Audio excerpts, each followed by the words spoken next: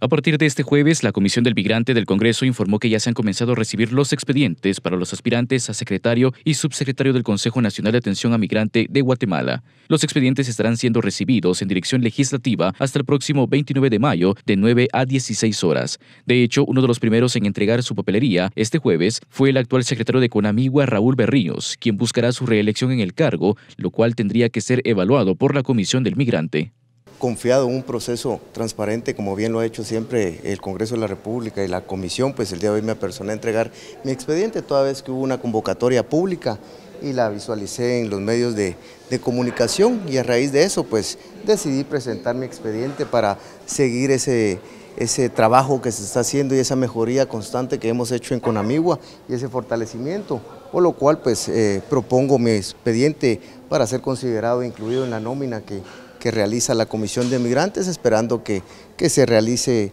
eh, en estos días y en los plazos perentorios de ley para próximamente pasar al Pleno para ser eh, incluido también y que si ellos lo determinasen, pues eh, seguir continuando con la buena labor que se está haciendo ahí en Conamigo.